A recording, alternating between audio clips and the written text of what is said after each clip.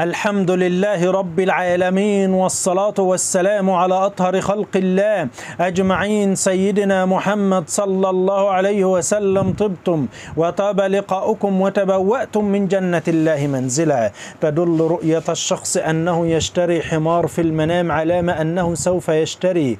إما سيارة جديدة أو مسكن جديد يسكن فيه والله عز وجل أعلى وأعلم. كما تدل رؤية شراء الحمار في المنام علامة على الخير والرزق الذي يحصل عليه صاحب الرؤيا الفترة القادمة من حياته والله أعلم.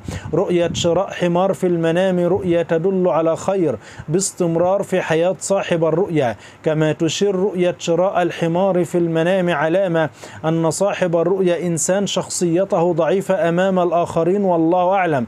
عندما يرى الشخص أنه يشتري حمار أعور في المنام يشير على امتلاكه الأموال ولكن يعرف يعني اللي يشوف اللي هو بيشتري حمار أعور علامة اللي هو هيمتلك أموال كثيرة ولكن مش هيعرف يوصل لهذه الأموال والله عز وجل أعلى وأعلم.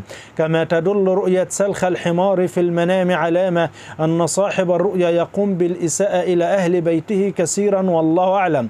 رؤية ارتداء من بعض جلد الحمار في المنام كثياب علامة أن صاحب الرؤيا ينفق من أموال زوجته وأن زوجته هي التي تنفق عليها من مالها والله سبحانه وتعالى أعلى وأعلم. رؤية الحمير بعدد كبير في المنام علامة على زيادة في مال صاحب الرؤيا ورزقه نعمة كبيرة والله أعلم. رؤية حمير كثيرة في المنام علامة على الحظ الجيد للرأي وبشرى له بمستقبل أفضل في عمله والله سبحانه وتعالى أعلى وأعلم. رؤية الحمار الأعرج في المنام علامة على اضطرابات تحدث لصاحب الرؤيا وتسبب له خسائر فادحة وكبيرة في الأموال. والله سبحانه وتعالى أعلى وأعلم. لا تنسوا قراءة آية الكرسي بعد كل صلاة مكتوبة. وقبل النوم والسلام عليكم ورحمة الله وبركاته.